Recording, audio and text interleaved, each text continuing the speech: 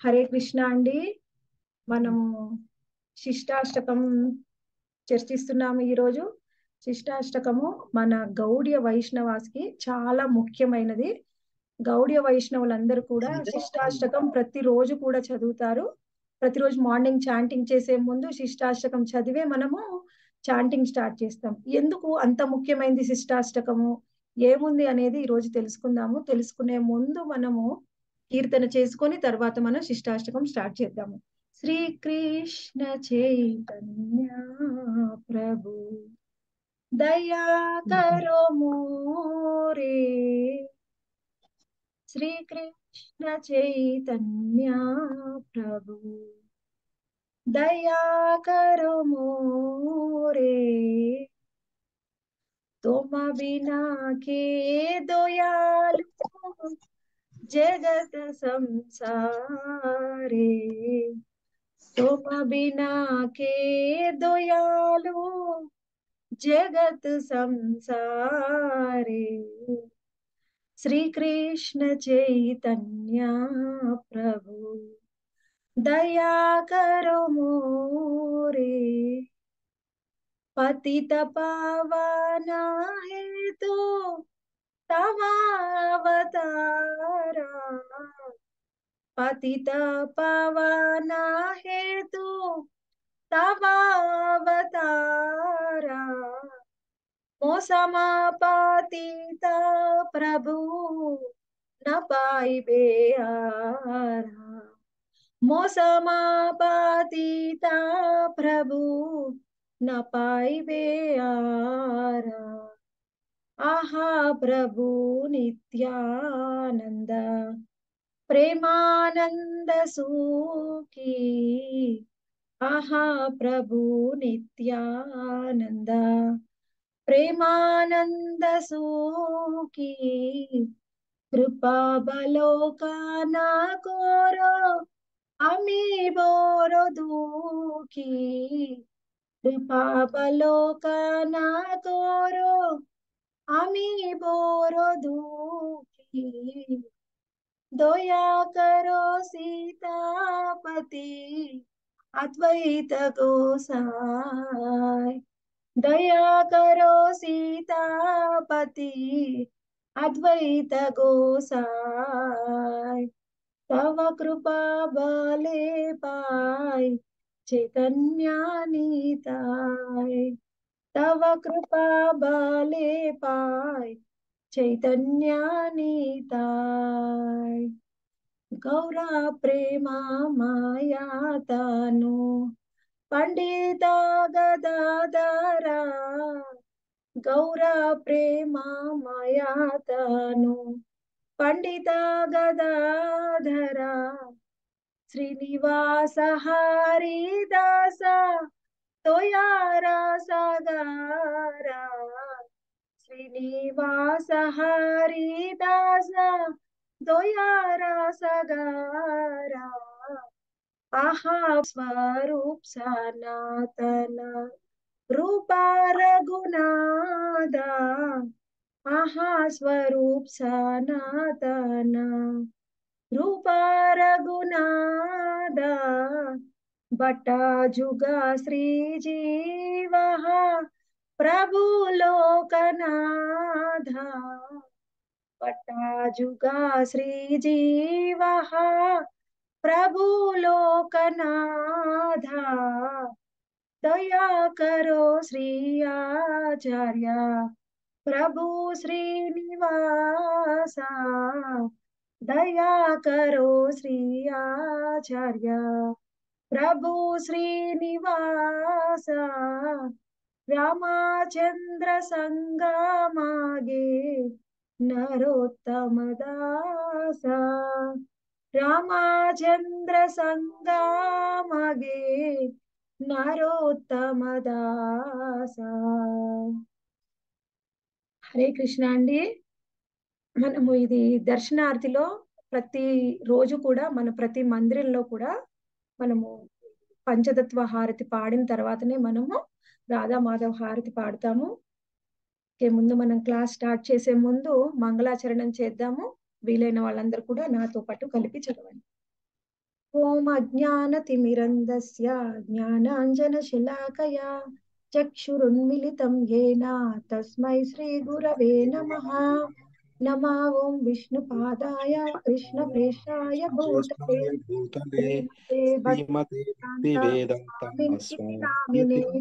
नमस्ते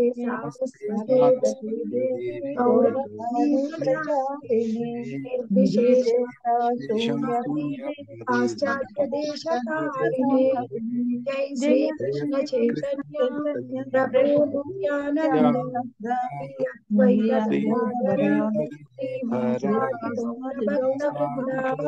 హరే కృష్ణ హరే కృష్ణ కృష్ణ కృష్ణ హరే హరే హరే రామ హరే రామ రామ రామ హరే హరే హరే హరే శిష్టాష్టకము చర్చించుకునే ముందు దాని ప్రాముఖ్యాన్ని తెలుసుకుందాం.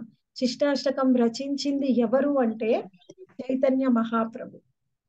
చైతన్య మహాప్రభువు ఆయన జీవితంలో ఆయన ఉన్నంత కాలంలో కూడా ఆయన శిష్టాష్టకం తప్పించి ఇంకా ఏ విధమైన ఏ విధమైన శాస్త్రాలని పుస్తకాలని రచించలేదు. మిగిలిన చాలా రచనలు జరిగాయి కానీ ఆయన ఇచ్చిన జ్ఞానంతోనే ఆయన యొక్క అనుయాయులు ఆయన శిష్యులు ఆయన భక్తులు రచించినవన్నమాట. అయితే మన గౌడ్య వైష్ణవులకి శిష్టాష్టకం చాలా ప్రాముఖ్యమైంది. ఎందుకంటే చైతన్య మహాప్రభువు మనకిచ్చిన జ్ఞానం కేవలం అది ఒక్కటి మాత్రమే. అందుకని అది అంత ప్రాముఖ్యమైంది. ఎందుకని అది ఒక్కటే ఇచ్చారు అనేది మనం చూద్దాం. ముఖ్యంగా మనం శిష్టాష్టకంలో ఏముంది అంటే అసలు కృష్ణ భగవానుడి భక్తి అంటే ఏమిటి? కృష్ణ భగవానుడి భక్తి ఏమిటి? కృష్ణ ప్రేమ అంటే అంటే ఏమిటో మనకి శిష్టాష్టకంలో తెలుస్తుంది అనమాట అది అందుకే అంత ప్రాముఖ్యమైంది. మనము శిష్టాష్టకంని ఆ జ్ఞానాన్ని ఇచ్చిన చైతన్య మహాప్రభు ఎవరంటే ఆయన స్వయంగా భగవంతుడు స్వయంగా కృష్ణ భగవానుడే ఐదు వందల సంవత్సరాల క్రితము కలియుగంలో మనందరికీ దర్శనమిచ్చారు. దానికి మనము చాలా మందికి దేనికైనా మనము ప్రూఫ్ కావాలి అనుకుంటాం. దానికి మనము చైతన్య మహాప్రభువే శ్రీకృష్ణ భగవానుడు అని చెప్పడానికి మనకి శ్రీమద్ భాగవతము పదకొండవ స్కందము ఐదవ అధ్యాయం ముప్పై రెండవ శ్లోకంలో ఈ విధంగా చెప్తున్నారండి. కృష్ణవర్ణం త్రిషా కృష్ణం సాంగోపాంగాస్య పార్షదం యజ్ఞై సంకీర్తన ప్రాయే యదన్ సంకీర్తన ప్రాయై యజంత యజంతహి సుమేధస అంటే కలియుగంలో బుద్ధిమంతులైన జనులు నిరంతరము కృష్ణనామంను గానం చేసే భగవద్ అవతారమును నామ సంకీర్తనము ద్వారా పూజిస్తారు. దేహఛాయ శ్యామల వర్ణము కాకపోయినా అతడు సాక్షాత్తు శ్రీకృష్ణ భగవానుడే. అతడు అనుయాయులతో సేవకులతో ఆయుధాలతో ఆంతరంగికులతో కూడి ఉంటాడు. చైతన్య మహాప్రభు ఎలా ఉంటారో మనకి వర్ణన చేస్తున్నారు. స్వయంగా కృష్ణ భగవానుడే అయినా సరే శ్యామల వర్ణంలో ఉండరు. ఆయన గౌరవ వర్ణంలో ఉంటారు. ఆయన వచ్చినప్పుడు ఏ విధంగా వచ్చారంట? తన ఆంతరంగికులతో తన నిత్య పార్షదులతో ఆ మొత్తం ఆయుధాలతోని అందరితోని కలిసి వచ్చారంట. అసలు మనము అనేక సార్లు భగవంతుడు కృష్ణ భగవానుడు అవతారాలను చూసాం.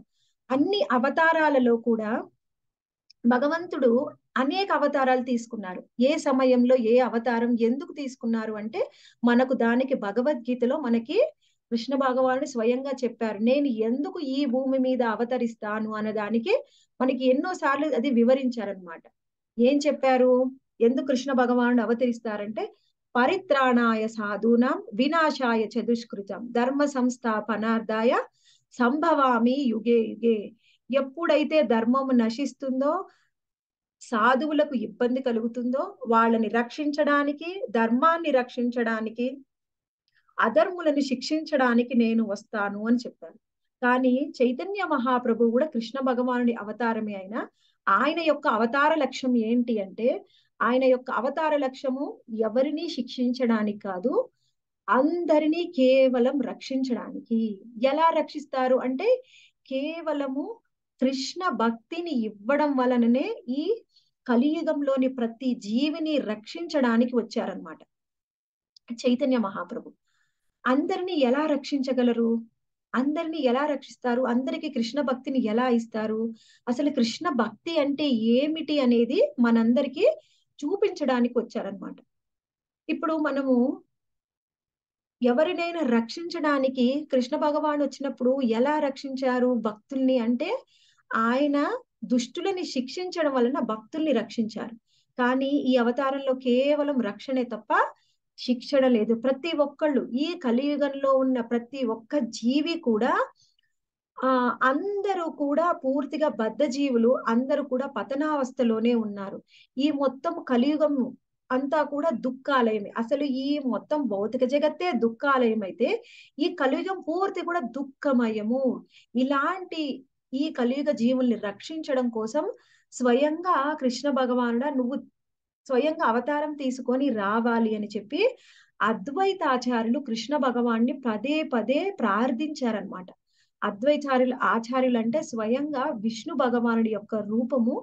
ఆయననే కృష్ణ భగవానుడిని కలియుగంలో మీరు రండి మీరే వచ్చి కృష్ణ భక్తిని ప్రచారం చెయ్యండి అని అనేక సార్లు ఆయన్ని ప్రార్థించారు. ఆయన ప్రార్థన ఎలా చేసేవాళ్ళంటే కృష్ణ భగవాను యొక్క శాలిగ్రామ రూపానికి గంగాజలంతో తులసి తులసి తోని తులసి ఆకుతోని గంగాజలంతోని ప్రతిరోజు ఆయన ప్రార్థిస్తుంటే కృష్ణ భగవానుడు స్వయంగా ఈ కలియుగంలో అవతరించారు అంటే ఆయనకు చూడండి గంగా జలం అన్నా తులసి ఆకున్న ఎంతో ప్రీతి కృష్ణుడికి. ఆ రెండింటితోని ఎవరైతే అర్చిస్తారో ఆయన వాళ్ళ కోరికల్ని నెరవేరుస్తారు. అంటే అది ఆయన కోరిక అయితే భౌతికమైన కోరిక కాదు. కేవలం ఆధ్యాత్మికమైన కోరిక అద్వైత ఆచార్యులు అందుకే కృష్ణ భగవానుడు స్వయంగా ఈ భూమి మీదకి అవతరించారు అవతరించినప్పుడు ఎవరెవరితో వచ్చారండి అంటే మనము చూడొచ్చు.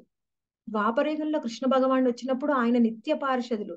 అందరూ కూడా ఆ అందరూ ఆ గోలోకధామంలో ఉన్న నిత్య పార్షులు అందరూ కూడా ఈ కలియుగంలో ఆ కలియుగానికంటే ముందు ద్వాపర యుగంలో అందరూ వచ్చారు. కానీ వాళ్ళందరూ కూడా చాలా ఉన్నత స్థాయిలో ఉన్నారు. అంటే వాళ్ళ జీవన విధానము ఏదైనా కానీ చాలా ఉన్నతంగా ఉంది. ఆయన నిత్య పార్షదులు బ్రజధామంలో ఉన్నా కానీ అందరినీ చాలా ఉన్నత స్థాయిలో ఉంచారు కృష్ణ భగవాన్. కానీ కలియుగంలో వచ్చినప్పుడు కృష్ణ భగవానుడు తో పాటుగా నిత్య పార్షులు అందరూ కూడా సామాన్యమైన జీవుల్లాగా ఉన్నారనమాట వాళ్ళెవరు కూడా చూడడానికి ఏ విధమైన ఆడంబరాలు లేవు ఏ విధమైన ఉన్నతమైన జీవన శైలి లేదు.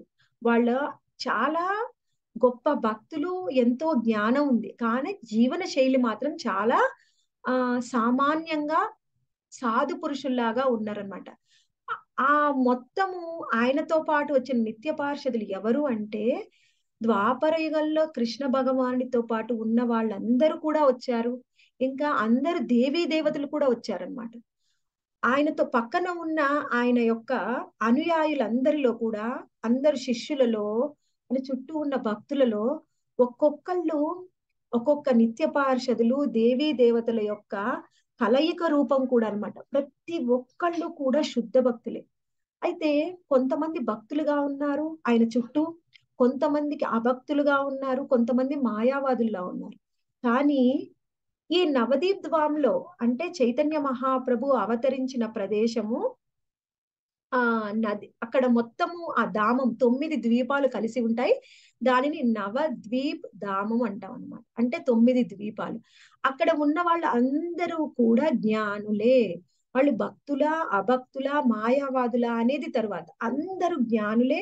అందరూ సంస్కృత వ్యాకరణం తెలిసిన వాళ్ళు. అందరూ శాస్త్ర జ్ఞానం ఉన్నవాళ్ళు. కానీ ఎవరు కూడా సామాన్యంగా కేవలము శారీరకము నేను అంటే ఈ శరీరము అని భౌతికమైన ఇంద్రియ భోగాలలోనే కొట్టుకొని పోయే వాళ్ళు ఎవరూ లేరనమాట అందరూ కూడా పూర్తిగా పండితులు. అందుకని చైతన్య మహాప్రభువు ఆయన అవతారం తీసుకున్న తర్వాత ఎలా అంటే ఆయన ఒక బ్రహ్మచారిగా ఉండాలి అంటే ఆయన ఒక ఐడియల్ బ్రహ్మచారి. అంటే ఆదర్శంగా ఉండే ఒక బ్రహ్మచారి ఎలా ఉండాలి? దానికి ఉదాహరణగా ఉన్నారు. ఒక గృహస్థు అంటే ఎలా ఉండాలి? దానికి ఆదర్శంగా ఉన్నారు. తర్వాత ఆయన సన్యాసం స్వీకరించారు. చైతన్య మహాప్రభు రెండు సార్లు వివాహం చేసుకున్నారు. ఆ ఇద్దరిని కూడా వదిలి అంటే ఒకరిని చేసుకున్న తర్వాత వాళ్ళు మరణించిన తర్వాత మళ్ళీ ఇంకొకరిని వివాహం చేసుకున్నారు. ఆ భార్యలు ఉన్నా ఆయన సన్యాసం తీసుకున్నారనమాట సన్యాసం తీసుకుని తర్వాత పూర్తిగా భక్తి భావంలోకి వచ్చారు.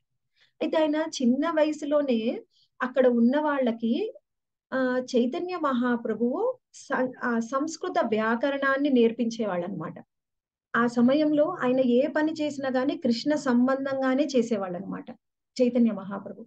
ఆ విధంగా చైతన్య మహాప్రభువు ఆ బ్రహ్మచారి లీలల్ని గడిపారు. తర్వాత గృహస్థగా ఉన్నప్పుడే ఆయన ఇరవై నాలుగేళ్ళ వయసులోనే ఆయన సన్యాసం తీసుకున్నారనమాట సన్యాసం తీసుకొని తర్వాత పూర్తిగా ఆయన జీవితం మొత్తం కూడా ఆ పూరిధాంలో గడిపారు. ఎందుకంటే దానికి కారణం వాళ్ళ తల్లి గారి యొక్క కోరిక మేరకు పూరి జగన్నాథ్లోనే ఆయన పూరి మందిరంలో దగ్గరనే సమీపంలోనే ఉండి పూర్తిగా సన్యాస లీల మొత్తం అక్కడే జరిగిందనమాట అయితే చైతన్య మహాప్రభువు ఆయన గృహస్థిగా ఉన్నప్పుడు ఆయన పూర్తిగా ఏ విధంగా అంటే కేవలము ఆయన సన్యాసం తీసుకున్న తరువాత కూడా చైతన్య మహాప్రభు యొక్క జీవిత చరిత్రని చూస్తే మనము అది మూడు విభాగాలుగా విభజించబడి ఉంటుంది. ఒకటేమో ఆదిలీల మధ్యలీల అంత్యలీల. ఆదిలీల మొత్తం కూడా చైతన్య మహాప్రభు యొక్క బ్రహ్మచారి లీలల్ని తెలియజేస్తుంది. ఆ తర్వాత ఆయన వివాహం చేసుకున్నారు. తర్వాత మధ్యలీల ఆయన సన్యాసం తీసుకున్న తర్వాతనే మధ్యలీల కూడా జరుగుతుంది. అప్పుడు ఆయన మొత్తము ఆ మొత్తం సౌత్ ఇండియా వెస్ట్ ఇండియా మళ్ళీ మధుర బృందావన్ మొత్తం కూడా ఆయన టూర్ వేస్తారనమాట అంటే అన్ని పుణ్యక్షేత్రాలని సందర్శిస్తారు. తరువాత పూర్తిగా సన్యాసలీల పూరి జగన్నాథ్ మందిరం దగ్గరనే ఆయన ఉంటారు. ఆయనకు అసలు బృందావనంలో ఉండాలనే కోరిక ఉన్నా కానీ వాళ్ళ తల్లిగారు చె అడుగుతారనమాట అది బృందావనం చాలా దూరము. మన బెంగాల్కి పూరి జగన్నాథ్ మందిరం దగ్గర అక్కడికి వెళ్తే మన నాకు నీ క్షేమ సమాచారం తెలుస్తాయి. అందరు భక్తులు వెళ్తూ ఉంటారు వస్తూ ఉంటారు. అందుకని నాకు నువ్వు అక్కడే ఉండాలనే కోరిక ఉంది అంటే ఆయన ఇంకా పూరి జగన్నాథ్ మందిరం దగ్గరికి వెళ్ళి జగన్నాథుడి సేవలో అక్కడే ఉంటారన్నమాట. అయితే ఆయన ఈ మొత్తం లీలల్లో కూడా ఈ మధ్య లీలలో ఉన్నప్పుడు పూర్తిగా ఆయన ఎవరైనా సామాన్య భక్తుల్ని కలిశారంటే సామాన్యమైన భక్తులతోని ఆయన చెప్పేది ఆయన శాస్త్ర అధ్యయనాలు ఆ పండితుల యొక్క చర్చలు వేదాల యొక్క చర్చలు ఏం చేసేవాళ్ళు? కేవలం హరినామ సంకీర్తన చేస్తూ ఉండేవాళ్ళు అనమాట హరినామ సంకీర్తన. భక్తుల్ని కలిశారు అంటే హరినామ సంకీర్తన చేస్తూ ఆయన మొత్తము కూడా అన్ని ఈ మధ్యలీలలో అంత మొత్తం ఆల్ ఓవర్ ఇండియా మొత్తం కూడా పుణ్యక్షేత్రాల సందర్శన చేశారనమాట ఎవరైనా కేవలం ఆంతరంగిక భక్తులతో మాత్రమే ఆయన యొక్క భక్తి భావాలని ఆయన వెలుగుచ్చేవారు కానీ సామాన్యులతో కేవలము హరినామ సంకీర్తననే ఆయన చేసేవాడు. కానీ ఎవరైనా సంస్కృత పండితులు ఆయన సంస్కృత స్కాలర్స్ వచ్చారనుకోండి వాళ్ళు ఆ జ్ఞానులు అయి అయి ఉండొచ్చు మాయావాదులు అయి ఉండొచ్చు. వాళ్ళందరూ కూడా ఎవరైనా ఆయనతోని మాట్లాడినా కానీ ఎక్కువగా ఆయన ఆ వాళ్ళని ఖండిస్తూ మాట్లాడేవాళ్ళు కాదనమాట. వాళ్ళంతట వాళ్ళే వచ్చి చైతన్య మహాప్రభువుతోని ఈ విషయంలో మీ అభిప్రాయం చెప్పండి అని వాదానికి దిగిన ఆ విధంగా అలాంటి కొన్ని సందర్భాల్లో మాత్రమే చైతన్య మహాప్రభువు ఆయన మాట్లాడేవారు. ఆయన జ్ఞానం అంటే ఏంటో అప్పుడు మాత్రమే వాళ్ళకి తెలిసేదనమాట. దానికి ఉదాహరణ ఆ చైతన్య మహాప్రభువు సన్యాసం తీసుకొని పూరి జగన్నాథ్ మందిరం దగ్గరికి వెళ్ళిన తర్వాత మొదటిసారి జగన్నాథుని చూడ్డానికి వెళ్ళినప్పుడు జగన్నాథుని చూసి అక్కడే ఆయన పూర్తిగా ఆ ఆయన ఒకసారి జగన్నాథుడి దర్శనం అవగానే ఆయనకి ఆ వెంటనే అష్టసాత్విక వికారాలు వస్తాయి. అంటే పూర్తి భక్తి భావంలో ఉన్నప్పుడు అసలు భక్తి అంటే ఏంటి? అనేది తెలుసుకోవాలి అంటే మనం చైతన్య మహాప్రభువుని చూడాలి. చైతన్య మహాప్రభు ఒకసారి జగన్నాథుని చూసి ఆయన దర్శనం చేసుకుంటే ఆయన భావం ఎలా ఉండేది అంటే ఆయన కళ్ళలోంచి నీరు ఆ మనం ఎలా అంటే ఒక ఇంజెక్షన్ తోని నీళ్ళు పోస్తే ఎలా ఉంటుందండి? ఒక ఫౌంటైన్ లాగా నీళ్ళు అలా దారగా పడేవి అనమాట అంత దారగా ఆయన రోధిస్తూ జగన్నాథుణ్ణి దర్శనం చేసుకుంటుంటే ఆయన బట్టలు మొత్తం తడిచిపోవడమే కాకుండా ఆయన నిలబడ్డ కింద ప్రదేశం అంతా కూడా తడిచిపోయి నేల అంతా కూడా బురద నేల అయిపోయేదంట. అంతగా ఇంటెన్సిటీతోని ఆయన జగన్నాథుని దర్శనం చేసుకుని ఆ తన్మయత్వంతోని ఆయనకి ఆ అష్ట సాత్విక వికారాలు వచ్చాయి. మామూలుగా ఎవరైనా కానీ భక్తులు కొంచెం అడ్వాన్స్డ్ స్టేజ్లో ఉన్న భక్తులకి వాళ్ళకి ఒకటే సమయంలో ఒకటి లేదా రెండు వికారాలు రావడమే చాలా ఎక్కువ. కానీ చైతన్య మహాప్రభువుకి ఎనిమిది అష్టసాత్విక వికారాలు ఒకటేసారి వచ్చాయి. అసలు చైతన్య మహాప్రభు యొక్క అవతార లక్ష్యమే అది అన్నమాట. అసలు భక్తి అంటే ఏంటి? మనము అంతకుముందు అందరూ కూడా ఆచార్యులు వచ్చారు. కానీ చైతన్య మహాప్రభు లాగా భక్తి అంటే ఏంటి? భక్తి పారవశ్యం ఏంటి? ఆ శుద్ధ భక్తుల లక్షణాలు ఎలా ఉంటాయి? మనము భక్తిలో ఎంత ఉన్నత స్థాయికి వెళ్ళొచ్చు అనేది మనకు చూపించడమే ఆయన యొక్క అవతార లక్ష్యం. ఆయన కేవలము దండించడం ద్వారా లేకపోతే శాస్త్రాలని చెప్పడం ద్వారా శిక్షించడం ద్వారా లేకపోతే ఎవరితోని వాదించడం ద్వారా ఆయన భక్తిని ప్రచారం చేయడానికి రాలేదు. కేవలం భక్తి అంటే ఏంది? ఆచరించి చూపించడానికి వచ్చారనమాట. ఇప్పుడు మనకున్న గురువులు కూడా రెండు రకాలు ఉంటారు ఒక గురువేమో మనకి ఏది మనము పాటించాల్సిన పద్ధతులు చెప్తారు. కానీ ఇంకొకళ్ళు ఆచార్యులు అంటారు వాళ్ళు ఏమి చెప్తారో వాళ్ళు ఆచరించి చూపిస్తారు. అలాంటి వారు మనకి ఆ చైతన్య మహాప్రభు. ఆయన మనకందరికీ స్వయంగా ఆయన భగవాను భగవానుడు దేవాది దేవుడు ఆయన మనందరికీ గురువు. అదే సాంప్రదాయంలో మనం అందరం ఉన్నాం. ఆయన ఆచార్యుడు కూడా. ఏదైనా ఆచరించి చూపించారు. ఆ విధంగా చైతన్య మహాప్రభువు హస్తసాత్విక వికారాలతోని జగన్నాథ మందిరం ముందు పడిపోతే అక్కడికి ఒక గొప్ప తత్వవేత్త వచ్చారు. ఆయన మాయావేద తత్వవేత్త. ఆయన రామానందరాయ్. రామానందరాయ్కి ఎంత జ్ఞానం అంటే ఆయనకి వాళ్ళు పూర్తి జ్ఞానవంతులు. కాకపోతే అదంతా కూడా అద్వైతంలో మాయావాదంలో ఆయన జ్ఞానం ఉంది. ఆయన చైతన్య మహాప్రభువుని చూసి ఎవరు ఇంత ఆ వయసులో యంగ్గా ఉన్నాడు ఈయన ఇలా పడిపోయాడు ఈయనని చూస్తే ఈయన భక్తి పారవశ్యంలో ఉన్నాడు అర్థమవుతుంది అని చెప్పి ఆయన వాళ్ళ ఇంటికి తీసుకొని వెళ్ళి ఆయనకి శుశ్రూష చేసి తరువాత ఆయనకి మేలుకొచ్చి వచ్చినప్పుడు ఆయనకి వేదాంత సూత్రాలని చెప్తారు. ఆయన ఎన్నో రోజులు వేదాంత సూత్రాలు చెప్పిన తర్వాత అసలు ఆయనకి అర్థం కావట్లేదు. చైతన్య మహాప్రభుకి ఏం అర్థమవుతుంది అర్థం కావట్లేదు అని. అప్పుడు ఆయన నీకేం అర్థమవుతుంది? నేను ఇన్ని రోజుల నుంచి చెప్పాను కదా నీకేం అర్థమవుతుంది చెప్పు అంటే ఆయన అన్ని రోజులు చెప్పిన ప్రతి శ్లోకంలోని ప్రతి పదం కూడా చెబుతూ ఆయన ప్రతి దానికి వివరణ ఇచ్చారనమాట నువ్వు చెప్పిన దాంట్లో దోషం ఇది ఇది సరైనది అని చెప్పి. ఆయన ఆ విధంగా మొత్తము ఆయన చెప్పిన వేదాంత సూత్రాలు అన్నిటికి కూడా ఆయన కృష్ణ తత్వంలో భాష్యం చెప్తూ ఉంటే ఆయన ఆశ్చర్యపోయాడు. ఇంత జ్ఞానం ఎలా ఉంటుంది ఒకరికి అని. తరువాత ఆయన ఒక శ్లోకానికి ఎనిమిది విధాలుగా అర్థాన్ని వివరిస్తారు. అప్పుడు చైతన్య మహాప్రభు అదే శ్లోకానికి అరవై నాలుగు విధాలుగా అర్థాన్ని వివరిస్తారనమాట అప్పుడు రామానందరాయకి అర్థమవుతుంది ఈయన సామాన్య మానవుడు కాదు. సామాన్యులకు అసలు ఇది సాధ్యం కాదు అని ఆయన ఆయనకు శరణాగతి అవుతాడు చైతన్య మహాప్రభుకి అప్పుడు ఆయనకి రామానందరాయకి రాధాకృష్ణుల దర్శనం కలుగుతుంది అనమాట చైతన్య మహాప్రభు ఎవరు అంటే రాధాకృష్ణుల యొక్క కలయిక. రాధారాణి యొక్క భావము స్వయంగా కృష్ణ భగవానుడు రాధారాణి యొక్క భావంలో వచ్చారు. ఎందుకు రాధారాణి భావం తీసుకున్నారు అంటే భక్తిలో ఉన్నత స్థాయి అంటే కేవలం రాధారాణి. మనకి ఎవరికైనా భక్తి ఉంది అంటే ఆ భక్తి రాధారాణి నుంచే వచ్చింది. రాధారాణి లేకుండా మనకు భక్తి అనేది లేదు. అందుకనే మనం భక్తులం కావాలి అంటే రాధారాణిని పూజించాలి. రాధారాణి అంటే భగవంతుడి యొక్క అంతర్గత శక్తి.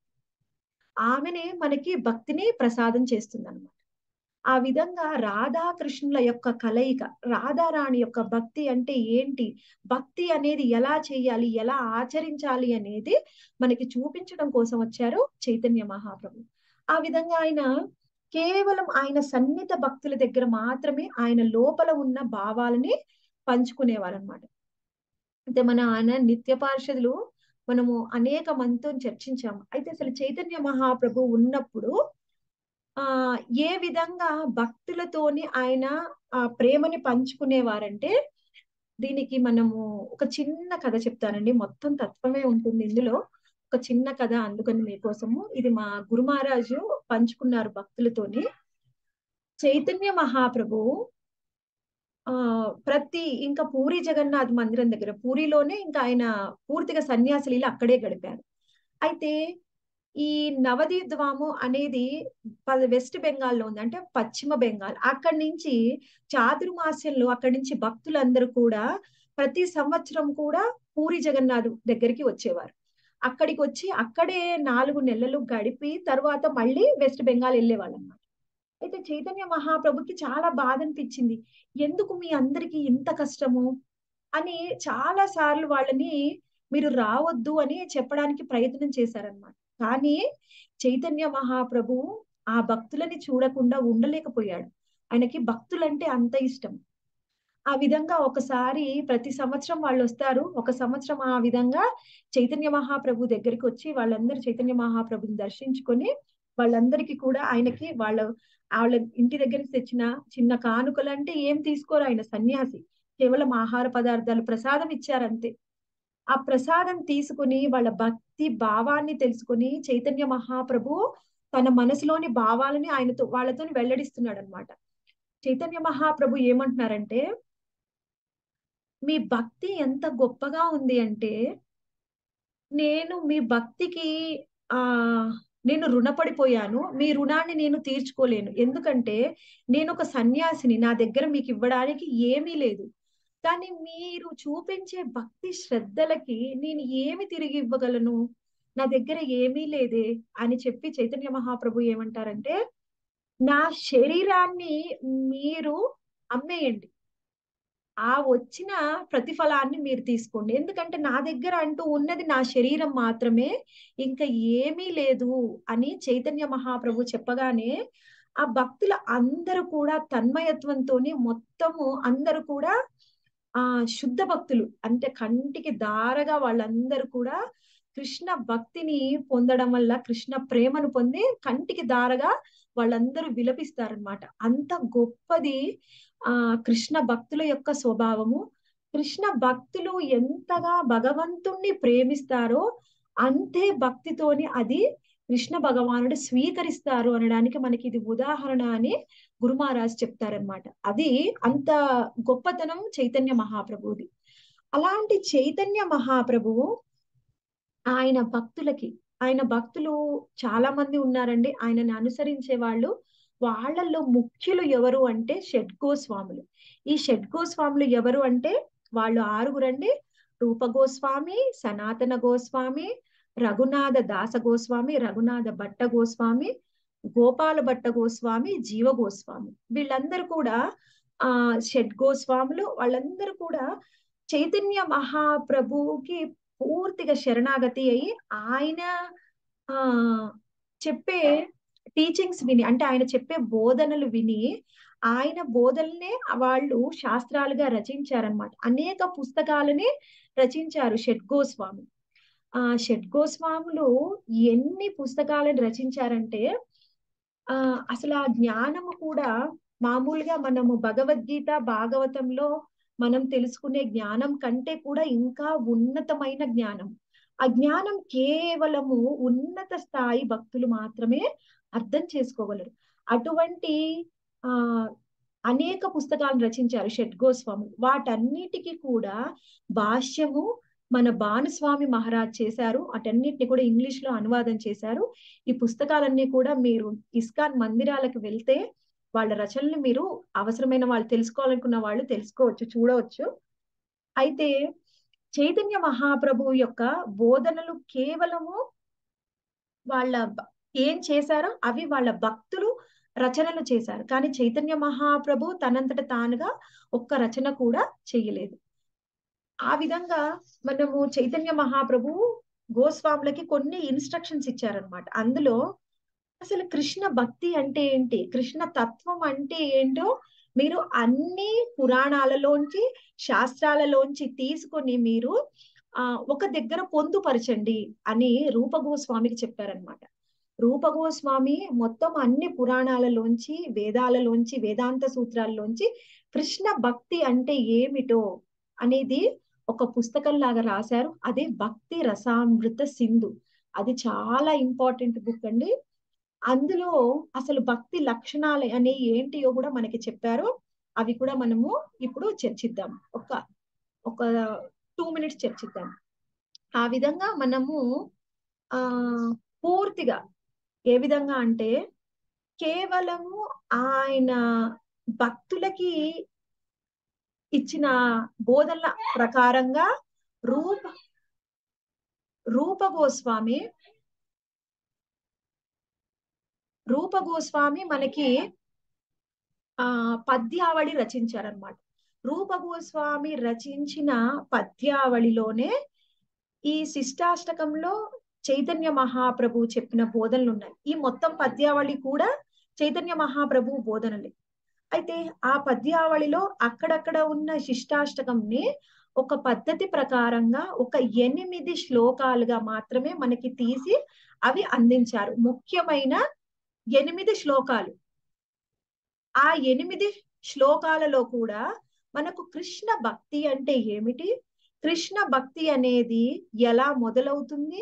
అది తరువాత ఉన్నత స్థాయికి ఎలా వెళుతుంది అనేది మనకు శిష్టాష్టకంలో ఆ ఒక పద్ధతి ప్రకారంగా వివరించారనమాట మనము శిక్షాష్టకము శిక్ష అంటే బోధన అష్టకము అంటే ఎనిమిది.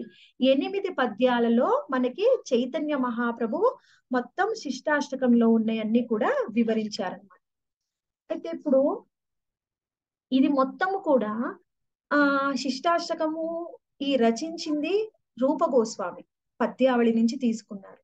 అయితే అసలు చైతన్య మహాప్రభు గురించిన చరిత్ర మొత్తము కూడా చైతన్య చరితామృతము. ఇది రచించింది ఎవరు అంటే రూప గోస్వామి యొక్క శిష్యుడు కృష్ణరాజ కవిరాజ గోస్వామి. ఆయన ఆ చైతన్య చరితామృతాన్ని రచించారు. అందులో మనం ఆల్రెడీ చర్చించాము. ఆదిలీల మధ్యలీల అంత్యలీల. అంత్యలీల మొత్తము ఇరవై అధ్యాయాలు ఉంటుంది. ఇరవై అధ్యాయాలలో కూడా చివరి అధ్యాయంలో మనకి శిష్టాష్టకాన్ని వివరించారనమాట అంటే శిష్టాష్టకం అంటే చైతన్య మహాప్రభువు యొక్క ఆ చరిత్రలోనే చివరిగా ఉన్నది. అంటే చైతన్య మహాప్రభువు మనకి ఏమి అందివ్వాలి అని అనుకున్నారు. చైతన్య మహాప్రభు మనకి చెయ్యాలి అనుకున్న అన్ని బోధనలు కూడా ఈ మొత్తం ఎనిమిది ఆ పద్యాలలోనే పొందుపరిచారు. అంటే ఎనిమిది శ్లోకాలలో మనకి మొత్తము వేదాల యొక్క అన్నిటి సారాన్ని కూడా పొందుపరిచారు. ఎవరైతే శిష్టాష్టకాన్ని చదువుతారో ఇంకా వాళ్ళు ఏ శాస్త్రము చదవలసిన అవసరం లేదు. అన్ని శాస్త్రాల జ్ఞానాన్ని అందులో ఇచ్చారు. అయితే అసలు శిష్టాష్టకంలో అంత జ్ఞానం ఉంది అని చెప్తున్నారు. అయితే డైరెక్ట్గా శిష్టాష్టకం చదివితే అది మనకు అర్థం కాదు. అయితే ముందుగా మనము చర్చించుదాము అసలు భక్తి అంటే ఏమిటి? భక్తి ఎన్ని రకాలుగా ఉంటుంది? భక్తులు ఎన్ని రకాలుగా ఉంటారు? ఆ విధంగా అసలు వైదిక శాస్త్రాలలో మనకి ఇచ్చిన జ్ఞానం అంటే ఏమిటి? ఇవి ఒకసారి మనం చర్చించుదాము అప్పుడు మనకి శిష్టాష్టకంలో ఏముంది? శిష్టాష్టకం స్థాయి ఏమిటో అర్థమవుతుంది అనమాట అందుకని ముందుగా మనము ఆ రూప గోస్వామి రచించిన భక్తి రసామృత సింధులో మనకి భక్తిని గురించి వివరించారనమాట అది ఒకసారి మనము చూద్దాం. భక్తి అంటే భక్తి చేయడం వలన మనము భక్తియుత లక్షణాలు. భక్తి అనేది ఎన్ని లక్షణాలను కలిగి ఉంటుంది? శుద్ధ భక్తియుత లక్షణాలని మనము ఒకసారి చర్చించుదాము. చూడండి శుద్ధ భక్తియుత లక్షణాలు. మొదటి లక్షణం ఏంటండి? భౌతికమైన క్లేశాల నుంచి ఉపశమనం. ఇది ఆ రూప గోస్వామి రచించిన భక్తి రసామృత సింధులోని మొదటి అధ్యాయంలో చెప్పినవన్నమాట భక్తి యొక్క లక్షణాలు. అసలు మనం భక్తులం అవడం వలన మనకు వచ్చే లాభం ఏమిటి అనేది చూద్దాం. లాభం అని కూడా చెప్పలేము. శుద్ధ భక్తుల యొక్క లక్షణాలు ఎలా ఉంటాయి? మనము భక్తియుత సేవ ప్రారంభించాము. ప్రారంభించినప్పుడు మన మన లోపల మన జీవితంలో వచ్చే మార్పులను గురించి చెప్తున్నారనమాట మొట్టమొదటి భౌతికమైన క్లేశాల నుండి ఉపశమనము. అంటే భౌతికమైన క్లేశాల నుంచి ఉపశమనం జరుగుతుంది అంటే అంటే మనకు అన్ని కష్టాలు పోతాయండి. ఇంకా మనకి ఏ కష్టం అనేది రాదా? అంటే అలా కాదు. మనకి ఇక్కడ ఏం చెప్పాలనుకుంటున్నారంటే మనకి ఇబ్బందులు అనేవి ఈ భౌతికమైన జీవితంలో తప్పకుండా ఉంటాయన్నమాట. ప్రతి ఒక్కళ్ళకి కూడా ప్రతి ఒక్కళ్ళకి కూడా ఎంతో కొంత ఇబ్బంది అనేది ఉంటుంది. మనది మనకి ఏదో సమస్య ఉంది. ఆ మనకి అసలు ఈ భౌతిక లోకమే దుఃఖాలయం అశాశ్వతం. అంటే ఈ భౌతిక లోకంలో ఈ భూమి మీద పుట్టామంటే దుఃఖం అనేది తప్పకుండా ఉంటుంది. దుఃఖం లేని వాళ్ళు ఈ భౌతిక లోకంలో ఎవరూ ఉండరు. అటువంటి ఈ భౌతిక లోకంలో అన్ని క్లేశాల నుంచి ఉపశమనం జరుగుతుంది అంటున్నారు. అంటే మా కష్టాలన్నీ పోతాయండి అంటే మనకు భౌతికంగా సమస్యలు ఉండొచ్చు కానీ మన మనసు మాత్రము వాటిని పట్టించుకోదు. భౌతికమైన సమస్యలకి పరంగా మనం ఆలోచిస్తాం అన్నమాట. భౌతికంగా మనకి ఇబ్బందులు ఉండొచ్చు కానీ వాళ్ళ భావన ఎలా ఉంటుందంటే మనకున్న ఇబ్బందులకి మన కర్మలు కారణం ఏదైనా మన జీవితాన్ని నడిపించేది కృష్ణ భగవానుడే. కేవలము కృష్ణ భగవానుడే మన జీవితానికి కర్త కర్మ క్రియ. అందుకని మనకి వచ్చే ఈ భౌతికమైన ఇబ్బందుల నుంచి మనము బాధపడవలసిన అవసరం లేదు అనే స్థాయికి ఉన్నతమైన స్థాయికి వెళ్తారు భక్తులు. అది మొట్టమొదటి భక్తియుత శుద్ధ భక్తి యొక్క లక్షణాలలో మొట్టమొదటిది. తర్వాత అన్ని శుభాలకు ఆరంభము. అంటే చూడండి ప్రతి మనిషి యొక్క ఇబ్బందులకి కష్టాలకి కారణం ఏంటి అంటే వాళ్ళ యొక్క మనసు మాత్రమే. వాళ్ళ మనసే అన్ని దుఃఖాలకి మూల కారణం. అలాంటి మనము అన్ని భౌతికమైన క్లేశాలకి పరంగా మనం ఆలోచిస్తూ ఉంటే అప్పుడు ఏం జరుగుతుందండి? మనం ఎవరితో మాట్లాడినా కానీ ఎన్ని సమస్యలు ఉన్నా కానీ ఆ సమస్యలు అసలు ముందుకు రావు. ఆ సమస్యల్ని మనం పట్టించుకోము ఎవరి ముందు మాట్లాడము.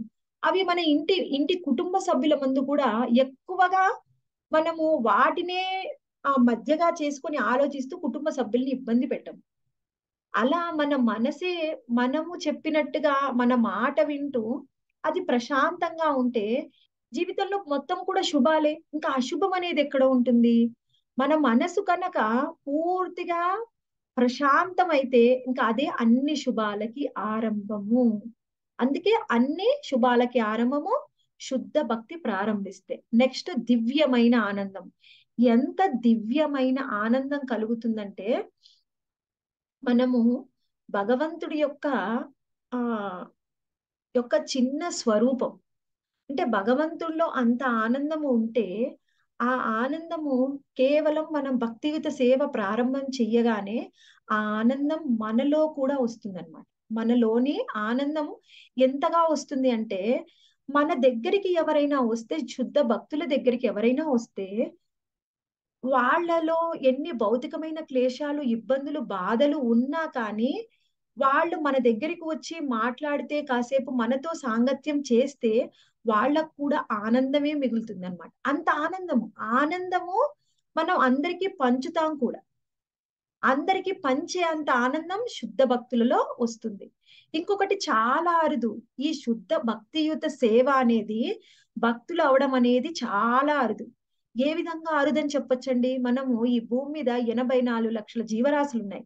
అందులో ఆ నీటిలో ఉండేవి పాకేవి నడిచేవి తర్వాత అందులో రెండు కాళ్ళు ఉన్న మనుషులు. ఈ మనుషుల్లోనే మొత్తము నాలుగు లక్షల రకాలు ఉన్నారు. అందులో జ్ఞానం ఉన్న బ్రాహ్మణులు గొప్పవాళ్ళు. ఆ బ్రాహ్మణుల కంటే కూడా గొప్పవారు వైష్ణవులు. ఆ వైష్ణవులలో కూడా మనం చూడండి ఆ వైష్ణవులు చాలా గొప్పవాళ్ళు. ఏ విధంగా అంటే వాళ్ళకి ఇప్పుడు చూసాము మనము భక్తులకు ఉండే లక్షణాలు. అసలు వాళ్ళకి భౌతిక క్లేశాలు ఉండవు అన్ని శుభాలే. వాళ్ళలో దివ్యమైన ఆనందం ఉంటుంది. అలాంటి వాళ్ళు చాలా అరుదు. మనము ఎన్నో జన్మల నుంచి మనము మనకి తెలియకపోవచ్చు. భక్తియుత సేవ చేసి ఉండొచ్చు లేకపోతే శుద్ధ భక్తుల సాంగత్యం దొరికితేనే మనము భక్తులం అవుతాం ఈ శుద్ధ భక్తియుత సేవ అనేది చాలా అరుదు. అది అందరికీ సాధ్యం అవ్వదు ఎవరైనా మనం కృష్ణ చైతన్యంలోకి వచ్చారంటే మీరు చాలా అరుదు అన్నమాట. ఈ లోకంలో ఎంతో కోటాను కోట్ల మంది జీవులు ఉండొచ్చు. వాళ్ళందరిలో మీరు చాలా అరుదు. నెక్స్ట్ ముక్తి కావాలని కోరుకోకపోవడం.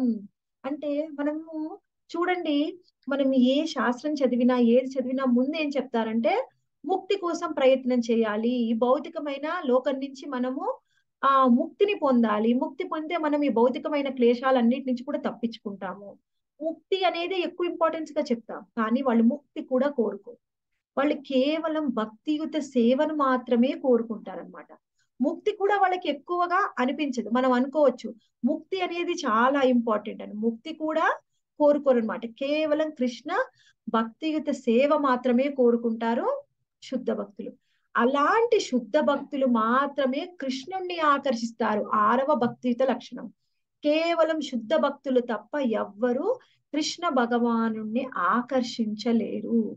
భక్తియుత సేవనే ఆకర్షిస్తుంది. నీకు ఎంత జ్ఞానం ఉంది ఆ నీకు ఎన్ని తెలివితేటలు ఉంది నీకు ఎంత డబ్బు ఉంది ఏముంది? అవన్నీ చూడడు కృష్ణ భగవాన్. కేవలం శుద్ధ భక్తియుత ప్రేమకు మాత్రమే సేవకు మాత్రమే ఆకర్షణం అవుతాం ఇది మనము భక్తి యొక్క లక్షణాలు. అంటే ఒకసారి ఎవరైనా భక్తులు అయితే వాళ్ళలో ఉండే లక్షణాలను గురించి చర్చించామన్నమాట.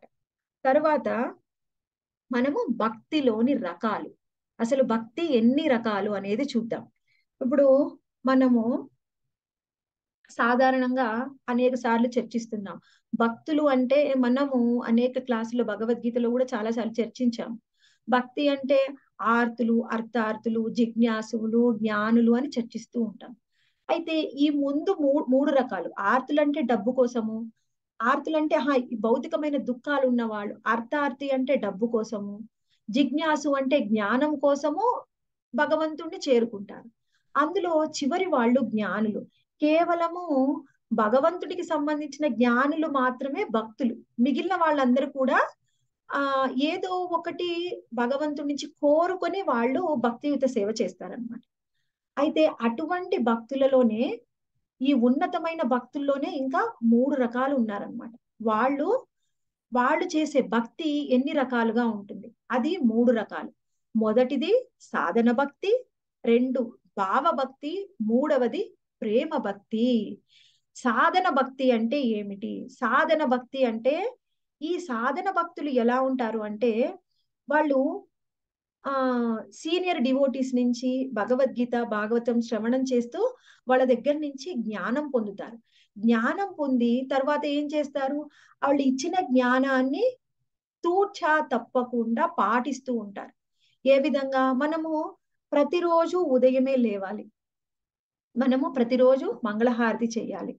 ప్రతిరోజు భగవంతుడు నామస్మరణ చెయ్యాలి పదహారు మాలలు అంటే వాళ్ళకి ఇష్టం ఉండని ఇష్టం లేకపోని ఖచ్చితంగా పాటిస్తారు. మనము అనుకోవచ్చు సాధన భక్తిలో ఉన్న వాళ్ళు లేదండి నాకు భావం రావట్లేదు. పదహారు మాలలు నేను చెయ్యలేకపోతున్నాను. అలా ఉండదనమాట నాకు ఇష్టం లేకపోయినా నేను చేస్తాను. ఎందుకంటే నా ఆచార్యులు చెప్పారు మా గురువులు చెప్పారు కాబట్టి నేను చేస్తాను. ఆ విధంగా ఆ స్థాయిలో ఉన్న వాళ్ళు సాధన భక్తులు అనమాట అంటే ఇంకా తప్పకుండా అది మిలిటరీ ఆ డిసిప్లిన్ అంటారు చూడండి అలా. నేను చెయ్యాలి కాబట్టి చేస్తాను. ఎవరో వచ్చి ఒకసారి శ్రీల ప్రభుపాదుల దగ్గరికి వచ్చి వాళ్ళ భక్తులు అడిగారంట ప్రభుపాదు నాకు మీకు సాష్టాంగ నమస్కారం చేస్తుంటే నాకు భావం కలగట్లేదు నమస్కారం చెయ్యాలని నాకు భావం కలిగినప్పుడు చెయ్యమంటారా? అని అడిగారంట. ఆయన అన్నారు నీకు భావం కలిగినా కలగపోయినా నువ్వు చెయ్యి అంతే చెయ్యాల్సిందే. చేస్తే నీకు అదే భావం వస్తుంది. నువ్వు భావం కలిగినప్పుడే చేస్తానంటే నువ్వు ఎప్పటికీ చేయలేవు అని ఖచ్చితంగా చెప్పారంట. అదే మనకు సాధన భక్తి. మన ఆచార్యులు ఏం చెప్పారో అది తప్పకుండా పాటించడమే సాధన భక్తి. తరువాత ఏంటి? Next stage భావభక్తి. భావభక్తి ఎలా అంటే ఆ వాళ్ళందరూ కూడా ఈ సాధన చేస్తూ చేస్తూ చేస్తూ పరిపక్వం చెందారనమాట అందుకని వాళ్ళు భావంతోని చేస్తారు. అంటే వాళ్ళు నిరంతరము కృష్ణ సేవ చేయాలి. నిరంతరము కృష్ణుణ్ణి నామం కీర్తించాలి. నిరంతరము ఆయన దివ్యమంగళ స్వరూపాన్ని కీర్తించాలి. ఆయనని ఆ ఆయన రూపాన్ని వర్ణన చెయ్యాలి ఆయన రూపాన్ని ఆ వర్ణనని స్మరణ చేయాలి అని నిరంతరము కృష్ణుని గురించి ఆలోచిస్తూ ఆయన భక్తియుత సేవ చేయడంలోనే సంలగ్నమై ఉంటారనమాట భావభక్తిలో. ఈ విధంగా వీళ్ళు ఎప్పుడు భగవంతుణ్ణి కీర్తిస్తూ వాళ్ళ గురువు చెప్పినవి పాటిస్తూ వాళ్ళు ఎక్కువగా ఆ మధుర బృందావనాన్ని సందర్శిస్తూ అక్కడే గడపడానికి ఆ వాళ్ళ మనసు ఆరాట పడుతూ ఉంటుంది అనమాట నిరంతరం కృష్ణ భక్తి కృష్ణ ప్రేమ కృష్ణ సేవ. ఆ విధంగా ఉన్న వాళ్ళు భావభక్తిలో ఉన్నట్టు అనమాట ఆ భావభక్తి ఎప్పుడు పరిపూర్ణమవుతుందో అప్పుడు వాళ్ళు ప్రేమ భక్తిలోకి వస్తారు. ప్రేమ భక్తి అంటే ఇంకా వాళ్ళకి కృష్ణుడితోని ఉన్న సంబంధం ఏంటో తెలుసుకుంటారు. తెలుసుకొని ఆ భావంలోనే నిరంతరము ఆ కృష్ణుణ్ణే స్మరిస్తూ ఆయనకి కృష్ణుడితోని బంధం తెలుసుకుంది. ఆ బంధంలోనే ఆయనని ఆయనని స్మరిస్తూ ఆయనకు సేవ చేస్తూ ఉంటారనమాట నిరంతరం భక్తియుత సేవ. అదే ప్రేమ భక్తికి ఉదాహరణ అనమాట వాళ్ళలో అష్టసాత్విక వి వికారాలు నిరంతరం తరచుగా వస్తూ పోతూ ఉంటాయి. అటువంటి వాళ్ళు ప్రేమ భక్తి. ఈ ప్రేమ భక్తికి ఉదాహరణ మనకి గోపికలు అన్నమాట మనము మనం నా నాలుగు రోజులు ఒక వన్ ఇయర్ చాంటింగ్ చేసి నేను ప్రేమ భక్తిలోనికి వెళ్ళాను నా కృష్ణుడితోని బంధం నాకు తెలిసిపోయింది. నేను శుద్ధ భక్తురాల్ని అనే స్థాయిలో ఉండొచ్చు. కేవలము ప్రేమ భక్తిలో ఉన్న వాళ్ళందరూ కూడా గోపికలు. గోపికలే వాళ్ళే మళ్ళీ ఆ ఈ భూమి మీదకి వచ్చి వాళ్ళే మళ్ళీ ఆ అవతారం తీసుకుంటే వాళ్ళే ప్రేమ భక్తిని ప్రదర్శించగలరు. అంత ఉన్నత స్థాయిది ప్రేమ భక్తి. ప్రేమ భక్తి ప్రదర్శించే వాళ్ళందరూ కూడా భగవంతుడితోని నిత్య సంబంధాన్ని కలిగి ఉంటారు. ప్రేమ భక్తి అనేది సామాన్యమైంది కాదు. మనం ప్రేమ భక్తిని ఆ ఇమిటేట్ చేయొద్దు. నేను ప్రేమ భక్తిలో ఉన్నాను. నా భావన అలా కలుగుతుంది. నాకు ఇలా భావన కలుగుతుంది అని ఆ భావాన్ని మనం ఎవరు కూడా ఇమిటేట్ చేయకూడదు అనమాట ప్రేమ భక్తి చాలా ఉన్నతమైంది. అయితే భక్తులు కూడా మూడు రకాలు ఉన్నారు. వాళ్ళు కనిష్టాధికారి మధ్యమాధికారి ఉన్నతాధికారి. కనిష్టాధికారి అంటే వాళ్ళు నియోఫైట్స్ అన్నమాట. అంటే ఇప్పుడిప్పుడే భక్తిని ప్రారంభించిన వాళ్ళు. వాళ్ళు మందిరానికి వెళ్తారు. ఆ వాళ్ళకి పూర్తిగా ఈ శాస్త్ర జ్ఞానం ఎక్కువగా ఉండదు. భగవంతుణ్ణి మందిరంలోనే దర్శిస్తారు. ప్రతి జీవిలోనూ భగవంతుని దర్శించుకునే స్థాయికి వెళ్ళరు. ఇంకా భక్తులు శుద్ధ భక్తుల కపట భక్తులకి భేదాన్ని చెప్పలేరనమాట వీళ్ళు కనిష్టాధికారులు. మధ్యమాధికారులు అంటే వాళ్ళు కృష్ణుణ్ణి పూర్తిగా కృష్ణ భగవానుడే దేవాది దేవుడని నమ్ముతారు. వాళ్ళు భగవంతుడి యొక్క జ్ఞానానికి సంబంధించిన శాస్త్రాలని అధ్యయనం చేస్తారు అంటే భగవద్గీత భాగవతం చదువుతారు. వాళ్ళు భగవంతుడికి సర్వస్వ శరణాగతి అవుతారు. జ్ఞానం కూడా ఉంది. కానీ వాళ్ళు ఎవరు వచ్చి ఏ ప్రశ్న అడిగినా అంది దానికి సమాధానం చెప్పగలిగే విధంగా ఏ శాస్త్రంలోంచి ఏ ప్రశ్న అడిగినా దానికి సమాధానం చెప్పే స్థితిలో ఉండరన్నమాట. అంటే ఇప్పుడు ఎవరైనా వచ్చి మనని ఆ స్కంద పురాణంలో ఆ విధంగా చెప్పారు. ఆ కృష్ణ భగవానుడు దేవాది దేవుడు కాదు మేము స్కంద పురాణి ఫాలో అవుతాము. అని ఈ ఇది ఎవరికి జరిగిందంటే ఒకసారి మన గురు మహారాజ్ దగ్గరికి వచ్చి వాళ్ళు స్కంద పురాణాన్ని ఫాలో అవుతారు. వాళ్ళు భక్తులు మేము మా అబ్బాయి మీ దగ్గరికి వచ్చి కృష్ణుడే దేవాది దేవుడని నమ్ముతున్నాడు. మీరు ఎందుకు మా అబ్బాయిని ఇలా మీ వైపు తిప్పుకుంటున్నారు అని మన గురు మహారాజ్ని అడుగుతారనమాట అయితే గురు మహారాజ్ ఒక్కసారి కృష్ణుడిని స్మరణ చేసుకుంటారు కళ్ళు మూసుకొని. తర్వాత చెప్తారు అయితే మీరు స్కంద పురాణాన్నే ఫాలో అవుతారా? అయితే స్కంద పురాణం తెప్పించండి. అనగానే మనకి స్కంద పురాణం తీసుకొని వస్తారనమాట స్కంద పురాణంలో ఆయన కళ్ళు మూసుకొని చెప్తారు గురుమహారాజ్ మీరు మీకు ఇష్టమైన ఒక పేజీ ఓపెన్ చేయండి. ఓపెన్ చేయగానే అందులో ఉంటుంది శ్రీకృష్ణ భగవానుడే దేవాది దేవుడు అని. తర్వాత ఇంకొక పేజీ ఓపెన్ చేయమంటారు. ఇంకొక పేజీ ఓపెన్ చేస్తే ఆ పేజీలో కూడా మొత్తం ఒక శ్లోకం చెప్పి దాని కంక్లూజన్లో శ్రీకృష్ణ భగవానుడే దేవాది దేవుడు అని ఉంటుంది అంటే ఎవరు వచ్చి మనని ఛాలెంజ్ చేసినా కానీ వాళ్ళకి ఏ పురాణం నుంచైనా సమాధానం చెప్పగలిగిన వాళ్ళు వీళ్ళు ఉన్నతాధికారులు అన్నమాట వాళ్ళు చాలా గొప్ప వాళ్ళు మన గురుమారా స్థాయిలో ఉండేవాళ్ళు ఉన్నతాధికారులు. ఈ విధంగా భక్తులు కూడా మూడు రకాలు. ఒకటి కనిష్టాధికారులు మధ్యమాధికారులు ఉన్నతాధికారులు. అసలు వైదిక జ్ఞానం అంటే వేదాలలో ఇచ్చిన జ్ఞానం మొత్తము కూడా మనకి మూడు రకాలుగా విభజించారు. అవంటే ఏంటండి వేదాలలో ఇచ్చిన జ్ఞానం మొత్తం కూడా మూడు రకాలు. జ్ఞానము మూడు దశలు అని చెప్పొచ్చు మూడు రకాలని చెప్పొచ్చు ఆ మూడు మెట్లు అని కూడా చెప్పొచ్చు. అవి ఒకటి చూడండి. ఒకటి సంబంధ జ్ఞానము అభిధేయ జ్ఞానము మూడవది ప్రయోజన జ్ఞానము. అయితే ఇప్పుడు ఈ సంబంధ జ్ఞానం అంటే ఏంటి? అది చూద్దాం మనం ఫస్ట్. సంబంధ జ్ఞానము అంటే అసలు ఆత్మ అంటే ఏమిటి? ఆత్మ ఎవరు? ఆత్మ అంటే ఏమిటి? భగవంతుడు ఎవరు? భగవంతుడికి ఆత్మకి ఉన్న సంబంధం ఏమిటి? అయితే ఈ భౌతిక శరీరంలోకి నేను ఎందుకు వచ్చాను? ఈ శరీరం ఏమిటి? ఈ శరీరం రావడానికి కారణం ఏంటి? అనేది మనకి వివరిస్తుంది సంబంధ జ్ఞానం. అంటే శరీరానికి ఆత్మకి పరమాత్మకి మధ్యలో ఉన్న సంబంధాన్ని వివరిస్తుంది. మనము ఇదే విషయాన్ని మనము భగవద్గీతలో ముందుగా అర్జునుడు అడిగిన ప్రశ్నకి ముందు రెండవ చాప్టర్లోనే ఈ మొత్తం జ్ఞానం ఇస్తారు కృష్ణ భగవానుడు. అయితే ఇక్కడ మనము మనం ఎవరము? మనము జీవాత్మలము. జీవాత్మ అణు ఆత్మ. కృష్ణ భగవానుడు పరమాత్మ ఆయన విభు. కృష్ణ భగవానుడికి మనకు ఉన్న సంబంధం ఏమిటి? ఆ సంబంధం తెలుసుకోవడానికి ముందు మనము అసలు కృష్ణ భగవాని అంశలమైన మనము ఈ భూమి మీదకి ఎందుకు వచ్చాము? ఈ భౌతిక జగత్తు ఏంటి?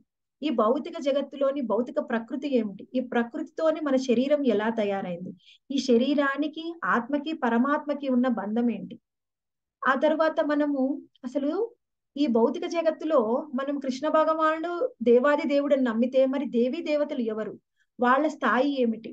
నాకు ఈ శరీరం రావడానికి కారణం ఏంటి? కర్మ ఏంటి? అవంతా కూడా మనకి ఈ సంబంధ జ్ఞానంలో తెలుస్తుంది అనమాట సంబంధ జ్ఞానం అనేది ఏంటో మనం తెలుసుకుంటేనే తరువాత మనము ఆ జ్ఞానంలో పై స్థాయికి వెళ్ళగలం. మొదటి జ్ఞానం అనేది సంబంధ జ్ఞానం. ఇది ఆ మనకు ఫండమెంటల్ లాంటిది అనమాట ఫండమెంటల్ అంటే బేస్ అంటే ఈ కింద చెప్తాం చూడండి. మనం ఏదైనా బిల్డింగ్ కన్స్ట్రక్ట్ చేయడానికి ముందు కింద బేస్మెంట్ చాలా ఇంపార్టెంట్ బేస్మెంట్ ఎంత స్ట్రాంగ్గా ఉంటే మనము అంత స్ట్రాంగ్గా ఉంటాం. మనం భక్తిలో అయినా జ్ఞానంలో అయినా. బేస్మెంట్ చాలా ముఖ్యం. అదే సంబంధ జ్ఞానము. సంబంధ జ్ఞానము భగవంతుడితోని మనకున్న సంబంధం ఏంటి అనేది అసలు ప్రశ్నించుకుంటే అప్పుడు మనం తెలుసుకుంటాము భగవంతుడు దేవాది దేవుడు కృష్ణ భగవానుడు దేవాది దేవుడు ఆయన యొక్క అంశలం మనం. అంటే ఆయన మనకు తండ్రి ఆయన యొక్క బిడ్డలం మనము అనే జ్ఞానాన్ని మనము తెలుసుకుందాం. తెలుసుకున్న తరువాత ఏం చేస్తాము? ఇప్పుడు చూడండి మనము మన తల్లిదండ్రులతోని మన బంధం ఏంటి? మన పిల్లలతోని మన బంధం ఏంటి అని తెలుసుకుంటాం. తెలుసుకున్న తర్వాత మనం ఏం చేస్తాము? మన బాధ్యతలు ఏమిటో తెలుసుకుంటాం. అంతే కదండి? మన తల్లిదండ్రుల పట్ల మన బాధ్యత ఏంటి? మన పిల్లల పట్ల మన బాధ్యత ఏమిటి? మన బాధ్యతల్ని మనము నిర్వర్తిస్తాము. ఇక్కడ కూడా అంతే. మన సంబంధం కృష్ణ భగవాన్తో ఏమిటో తెలుసుకున్న తరువాత మన బాధ్యతలు ఏమిటో తెలుసుకోవడమే అవిధేయ జ్ఞానము. అంటే ఏంటి మన బాధ్యత? కృష్ణ భగవానుడు దేవాది దేవుడై ఆయన మొత్తము ఈ భౌతికమైన సృష్టిలో మనకి ఏం అవసరమో ఈ భౌతికమైన ప్రకృతినిచ్చి భౌతిక ప్రకృతి ద్వారా మన అవసరాలన్నిటినీ తీరుస్తున్నారు. మనతో పాటుగా మన శరీరంలో ఆత్మతో పాటుగా పరమాత్మగా మనకు తోడి ఉండి మనని ముందుండి నడిపిస్తున్నాడు. అటువంటి భగవంతుడితోని మన బంధం తెలుసుకున్న తరువాత మనం ఏం చేయాలి? మనం ఏం చేస్తాం? మన తల్లిదండ్రులతోని ఉన్న బంధం తెలుసుకుంటే వాళ్ళకి సేవ చేస్తాం. అలానే భగవంతుడికి మనము సేవ చేయాలి. అది ఎటువంటి సేవ అంటే భక్తియుత సేవ. భక్తియుత సేవ ప్రతి ఒక్కళ్ళు కూడా చెయ్యాలి అన్నమాట. ఆ భక్తియుత సేవ ఏంటి? భక్తియుత సేవ ఎన్ని రకాలుగా చేయొచ్చు? నవవిధమైన భక్తి మార్గాల్లో మనము భక్తియుత సేవ చేయొచ్చు. శ్రవణం కీర్తనం స్మరణం పాదసేవనం వందం సాఖ్యం దాస్యం. దాస్యం ఆత్మ నివేదనం ఆత్మ నివేదనం చివరి తొమ్మిదవది ఆత్మ నివేదనం తర్వాత స్నేహం కూడా అన్ని చర్చించుకున్నాం కదండి. ఈ నవవిధమైన భక్తి మార్గాల్లో భక్తియుత సేవ అనేది చేస్తాం. అందులో ముఖ్యమైనది కీర్తనం. అంటే మనం శ్రవణం చేయాలి అంటే భగవద్గీత భాగవతాన్ని వినాలి చదవాలి మళ్ళీ చెప్పాలి. తరువాత భగవంతుడి నామ స్మరణ చేయాలి. ఇవన్నీ కూడా భగవంతుడితోనే మన బంధం అనేది ఏమిటో తెలుసుకున్న తర్వాత మనం చేసే భక్తియుత సేవ. ఈ భక్తియుత సేవని మనము మనకున్నంతలో మన జ్ఞానం ఉన్నంతలో మనం కొనసాగిస్తూ కొనసాగిస్తూ ఉంటే అప్పుడు మనము పరిపూర్ణ స్థాయికి వస్తాము. ఆ పరిపూర్ణ స్థాయికి వచ్చిన తర్వాత అప్పుడు మనకి ఏం లభిస్తుంది? అదే ప్రయోజన జ్ఞానము. ఏం లభిస్తుంది మనకి? కృష్ణ ప్రేమ లభిస్తుంది. కృష్ణ ప్రేమని ఎప్పుడు పొందుతామో అప్పుడు మనము అర్హత సంపాదిస్తాము కృష్ణ భగవానుడి యొక్క ధామం వెళ్ళడానికి. కృష్ణ భగవానుడి యొక్క ధామం వెళ్ళిన తర్వాత మనం అక్కడ ఏం చేస్తాము? మనము భగవంతుడితోని బంధం తెలుసుకున్న తర్వాత సంబంధ జ్ఞానం తెలుసుకున్న తర్వాత అవిధేయ జ్ఞానంలో మనం భక్తియుత సేవ చేసాం అప్పుడు మనము పూర్తిగా కృష్ణ ప్రేమని పొందాం. అంటే ప్రయోజన జ్ఞానాన్ని మనము పొందాము. పొందిన తర్వాత అప్పుడు ఏం చేస్తాము? చివరిగా మనం చేసేది కృష్ణ భగవాని ధామానికి వెళ్ళిన తర్వాత కూడా మనము మన భావన ఎలా ఉందో అలాంటి బంధాన్ని ఆయనతో కలిగి ఉండి అక్కడ ఆయనకి భక్తియుత సేవ చేస్తాం అన్నమాట. అంటే మనం వేదాలలో ఉన్న జ్ఞానం మొత్తం కూడా ఈ మూడు రూపాల్లోనే ఉంటుంది. సంబంధ జ్ఞానము అభిధేయ జ్ఞానము ప్రయోజన జ్ఞానం. హరే కృష్ణ అండి. మనం శిష్టాష్టకం ఇంట్రడక్షన్ తెలుసుకుందాము. నెక్స్ట్ వీక్ మనము ఆ శిష్టాష్టకము గురించి మనము పూర్తిగా ప్రతి పదానికి అర్థం తెలుసుకొని ఆ మనము దాన్ని ఎలా కృష్ణ భక్తిని ఎలా అన్వయించుకోవాలి అది ఉన్నతమైన స్థాయికి కృష్ణ భక్తుల్ని ఎలా తీసుకుని వెళ్ళారో మనం అనేది నెక్స్ట్ వీక్ చర్చిద్దామండి. హరే కృష్ణ.